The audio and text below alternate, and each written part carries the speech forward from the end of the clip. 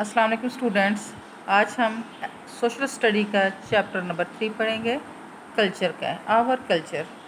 Our culture, the culture is defined as sum of attitudes, customs and behaviours of a nation और a group of people. A culture always is inherited the parts of culture, language, dress, food, living style, festival.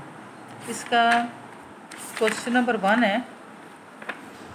Define the terms culture culture किसे कहते हैं? And list essential parts of a culture तो ये चूँकि जैसे पहले भी मैंने आपको क्वेश्चन कराए हैं ना कि क्वेश्चन थोड़े लंबे हैं तो इसको थोड़ा हाफ़ ऑफ़ करके किया है। इसी तरह इसके भी हमने दो हिस्से कर लिए हैं।